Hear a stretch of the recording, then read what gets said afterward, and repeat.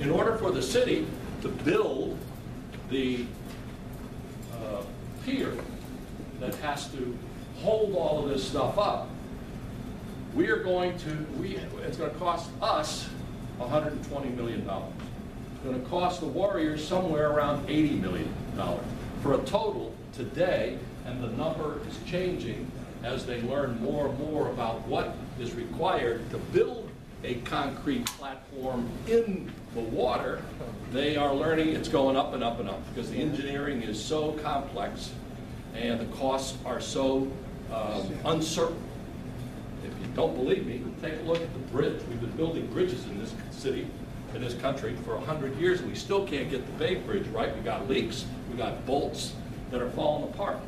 What's going to happen with this first-of-a-kind pier that's going to hold up this kind of a project? Never mind earthquakes, which where, where we saw freeways come down, they tell us this one will be earthquake-proof. Right. Y'all believe that one? Nope. Um, So, it's gonna cost today about two hundred million dollars. We, as a city, have to pay hundred and twenty. We don't have it. Court doesn't have it, city doesn't have it, where we're gonna get it? We're gonna borrow it from the Warriors. And here's how we're gonna pay it back. We're gonna sell them a piece of land here, which is a publicly owned piece, Seawall Lot 330, for approximately $30 million. That price has already been set. It was set a couple of years ago by an appraiser who didn't appraise for the extra height that they are seeking. So they got a cheap deal on that, $30 million towards repaying 120 that we're gonna borrow from them up front. Secondly, we're going to create value if this is built, and that usually, that extra value, tax money, goes to the city to run police, fire, health, muni, etc. In this case, it's going to go to pay the loan back.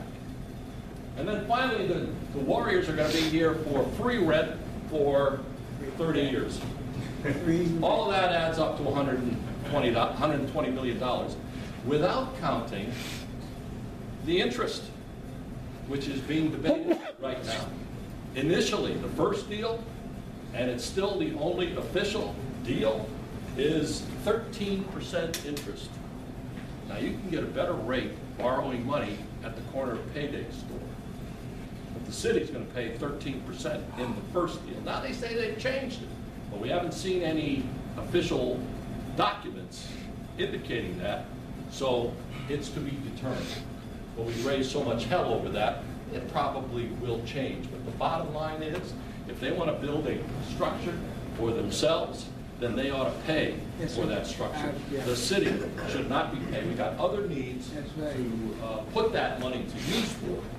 And in my case, and I'm going to end here and then take your questions. Uh, In my case, all of this public land should go to build affordable and middle-class housing like we have done elsewhere in that same neighborhood. I don't worry about people who can afford five to ten million dollar condominiums. I don't worry about it. So here's the project that I'm talking about, which is right here, high rise. This is the 17-story luxury condos. Here's some open space, Warrior style. See the roof? That's the roof of the retail. And here's some of the alleyways they're gonna have open space. And here's the two towers for the hotel, and this is the shopping area. Warriors tell us they're gonna bring us jobs, so does the mayor. Hmm. Two types of jobs. One is construction jobs. For building all of this, does anybody know an unemployed construction worker in this city today? A lot of them. We have work for the next 10 to 15 years going on. Look at all the cranes and derricks, and there's more in the pipeline, like the Transbay Terminal. And a huge, what is it, 75 stories you're gonna put there. So unemployment is not a problem uh, for the building trades in this city today and for the even foreseeable or distant future. Second item that they say we're bringing us in jobs are retail jobs, people who uh, work in shopping centers as clerks, and um, people who work in the arena taking tickets and selling uh, team sports paraphernalia and all that. Usually minimum wage or a little bit better. Those kinds of jobs don't support anybody living in this city. They have to commute in from other parts of the Bay Area where there's affordable housing to rent and hopefully for them to buy if they're so inclined. So those jobs don't mean a lot in terms of the value that we need for San Francisco. Um, I think that's enough. I'll take questions and hopefully answer. uh, We'll start out with you, Jane. Give you more information. Do you want to Um, call on them? Shall I? Shall I call on them? I'll call them out because then I'll be able to say last question. Okay, cool. And good evening, Mr. Mayor. Um, Could you talk about the difference from when the Giants built theirs and what was going on with that Yep, compared to now? yep. Okay. 1998, 1988, a golden era started in San Francisco. I became mayor.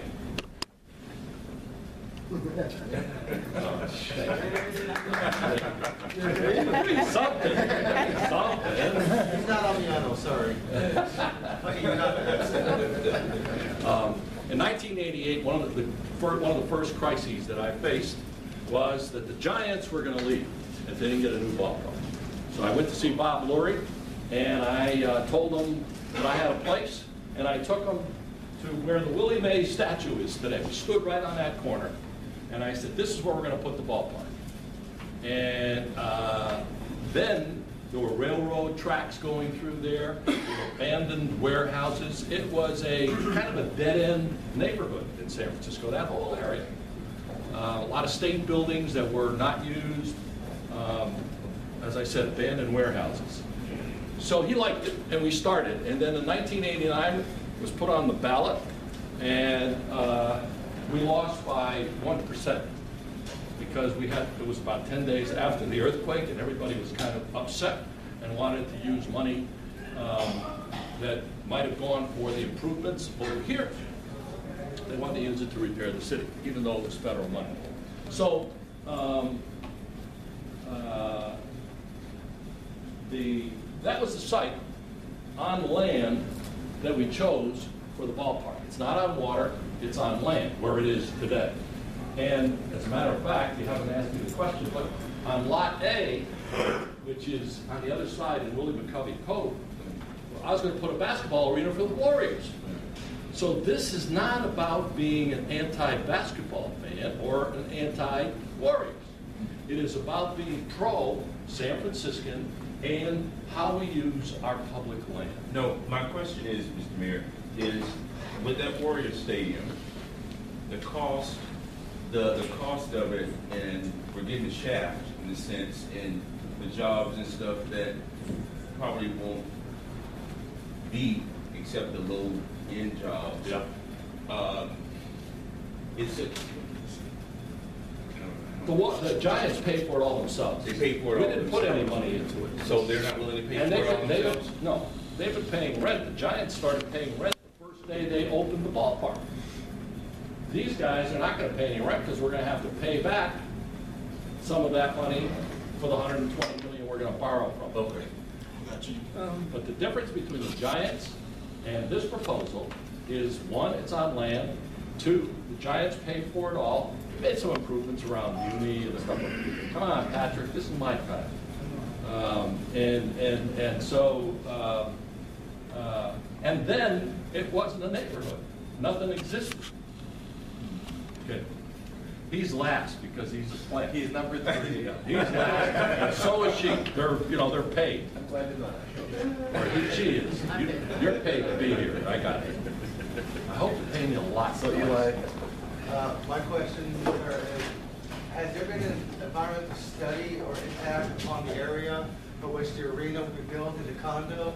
Because it is waterfront property, it's sensitive, because it was a major environmental necessity when Treasure Island was being built, because people were concerned as well. Yep. Good question, and it's going on now. It's uh, underway, and as they do the environmental impact study, they have to look at uh, two other sites. One of them is Lot A, the Giants ballpark, uh, uh, Giants uh, parking lot, and the other one is, I think, the Salesforce uh, further in Mission Bay. Um, So they're looking at two other sites. technically. I mean, it would, it would technically make more sense for Redwood City if it's actually, Warrior City can actually build on lot A, or they actually combine the stadium to a hockey stadium as well. Does. Unfortunately, the Bulls are no longer here. So you're on my side. Yeah. You'll be Yeah. after Patrick, so. My, um, my question is, how come we have to borrow money from a team that wants something on our land?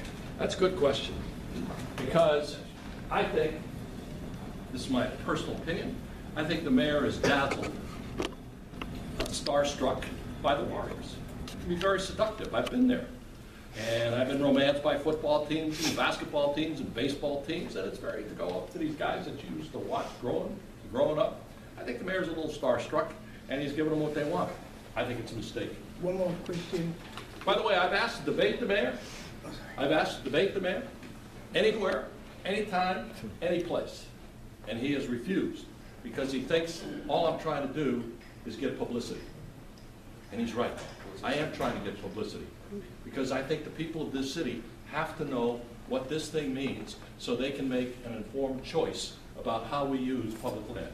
Another thing I do, I disagree with, I disagree with the fact that they would want to use our land without getting the people's permission.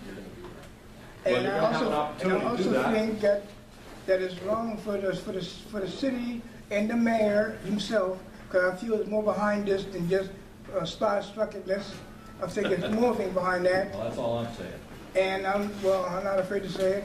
So I would, I think if they want to get this thing passed, they have to come to the voters.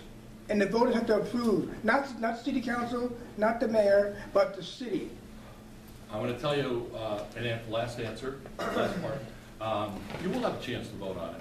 There's going to be a ballot measure, which uh, the organization I'm allied with is not supporting, is not involved with, but I am as a former mayor, and that is Proposition B, which says that any place on the waterfront that a developer seeks to go above the height limit, it has to go to a vote of the people.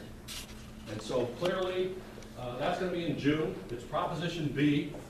So if the Warriors want to go this high and this high on the waterfront, they're going to have to come to you for a vote to get approved.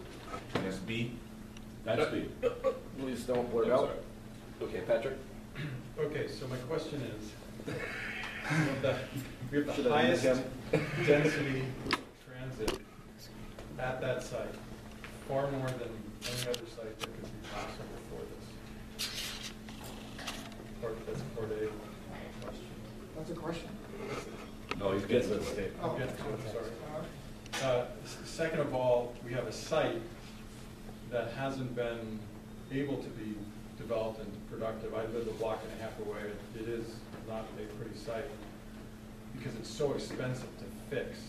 This, uh, the part where the city quote unquote pays for it, the project actually pays to fix that pier as opposed to the city. We don't, we don't pay anything. There are middle-class workers who I've talked to who live in the city and want to work at this site. Aren't those three compelling reasons why this should take place? Hmm. Given the fact, given the fact that we're going to get Lot A, which was your other choice, Lot A is your other choice, which I used to think was a really good choice, but the Giants development produces a significant meaningful amount of dollars and units, inclusionary, for affordable housing. This has been an impossible site to develop otherwise. This is a unique opportunity. It produces two hundred and eighty million dollars for the city every year. Doesn't this make sense? The highest transit corridor, middle-class workers want to work there. It's not the highest, uh, well, let's just talk about transit. I don't think there are any employed middle-class building trades in this city. I really don't.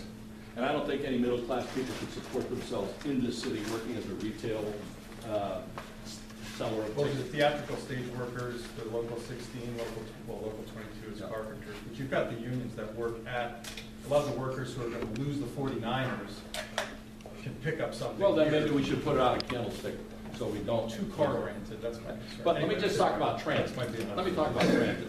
Let me talk about transit. This is not the most intensive transit district. Market Street is, not, not Net Street. And why, if this city is so transit, um, transit, um, Oriented. loaded, im- impacted, what's the right word? So full of transit, do we have to kick people off the N Judah line to take the empty car down to Market Street to use that corridor to get people down to the Giants games? If we're so transit uh, intense, we're not. And we never will be, because this was never designed for almost six million people a year. It was designed for a neighborhood. It wasn't designed for a ballpark even. But we make do with the Giants by doing what I said, kicking people off and bringing the empty cars to Market Street. A better spot would be Lot A of the Giants, where we're gonna have the new crosstown tunnel that goes from Fourth and Townsend to Chinatown, and people can get on, that'll be a new, the T-line, that'll be another one. So we, the, uh, it'll be closer to Lot A, to uh, Caltrain, so it's much more intense transit to be at Lot A than it is on the water where there's only one road to get in and out, as well as one muni line. Great. Barbas? Um, so apparently, as you're saying, the city borrowing hundred and twenty million from the Warriors to build ballpark. Why can't the Warriors just pay for it by themselves? Yeah, Yeah. that's right. So the, The pier. The pier. The pier, which is gonna cost somewhere about two hundred million plus. They got- Well, that's a good question, because the Giants paid for their own, and so should they. But these guys, uh, are asking for it, and the mayor's giving it to them. Mayor's getting something from it. I'm sure. No, sure. Um, Thank you for your presentation.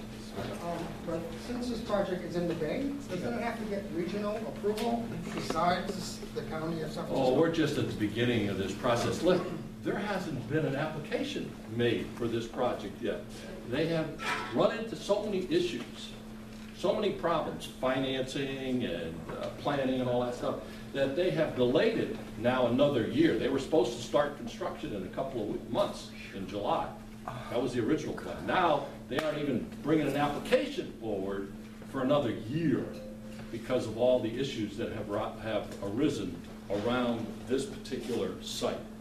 Uh, I'm telling you right now, it's never gonna get built. But that's just my opinion. I think we can build it at a better site for San Franciscans that do not cost us any money, uh, and isn't using public land to enrich billionaires who own the Warriors. That's what it boils down to. That's that's right. Gentleman in the white shirt. But I'm sorry, I didn't fit, the, uh, they do have to go, not only, they have to go to the Port Commission, they have to go to the uh, Planning Commission, then the Board of Supervisors, then it goes to the regional planning body, Bay Conservation, and BCDC, Bay Conservation Development, which, which says anything you can build on land, you cannot or should not build on water. That certainly can be built on land. And then after that goes to Army Corps of Engineers and some other, so it's got at least, I say, five years worth more. By that time, maybe they'll see the light and build somewhere else. Where would you put the project? A couple of places. Lot A, I like. As a matter of fact, in nineteen ninety, I had an agreement with the Warriors. Um, The owners then, named were Jim Fitzgerald and Dan Finnane, um, to build an arena at Lot A. But then, uh, uh, we ran into the recession and all the rest of it, and the voters turned me out, I lost, and my successor didn't follow up, so we didn't get anything. But, so, what I'm saying that for is because I have nothing against the Warriors. So Lot A is a good site. Uh, I think Candlestick is a good site. It's on the water, it's on the bay, uh, but not in the water, by land. We've got a football stadium we're about to tear down for sixty-five thousand people. An eighteen thousand person arena would be a piece of cake with all the parking they could ever dream of. We got the freeway access, we got the new T-line, and frankly, Bayview is the only part of the city that does need economic development. The unemployment rate there is about fifteen percent. In the rest of the city, it's about five. So if we were to put something there, we could um, make a difference in terms of improving the city and creating the kind of economic opportunities that we'd like to see out there. Now the gentleman in the white shirt. So I'm curious, you're talking about putting you're saying that that site's better for affordable housing? Are you talking about out on the pier or on the seawall land?